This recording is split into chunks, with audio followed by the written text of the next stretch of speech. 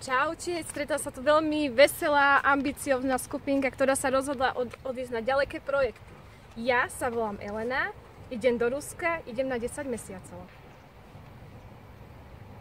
Ja sa volám Lucia a idem do Francúzska, do Bordeaux na jeden rok. Ahojte, ja sa volám Lucia, idem tiež do Ruska na 10 mesiacov. Ahoj, ja som Dominika a idem do Slovenska na 10, 10 mesiacov.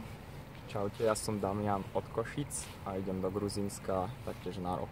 No a čo tam budeme robiť? Takže budem spol- spolupracovať, idem do jednej organizácie, kde budem pracovať s detičkami a čo to čakávam, že spoznám ruskú kultúru, mentalitu a to je asi všetko. A hlavne, že sa naučím ruský jazyk. Ja tiež dúfam, že sa lepším vo francúzštine. Budem robiť pre organizáciu La Maison de l'Europe a mojou úlohou bude vlastne informovať spoločnosť o fungovaní Európskej únie ako také.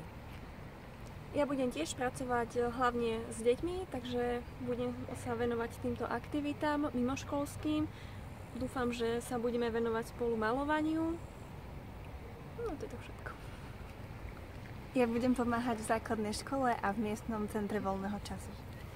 Ja budem pomáhať v skautskom centre v meste Rustavy a snad sa mi podarí spoznať nejak bližšie ten región a naučiť sa gruzínsky a ruský jazyk.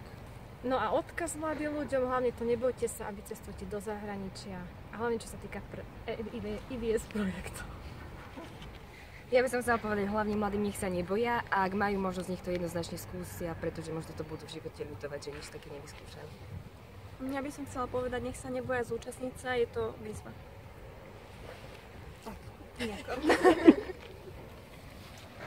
možno sa oplatí radšej počkať s vysokou školou a niekam cestovať. A tí, čo stojíte vedľa, tak sa tvárte tak normálne. Nie. Dobrý deň, krásny deň. Ča. Krásny slnečný deň. Slnečný. Nie. Dobrý. Dobrý.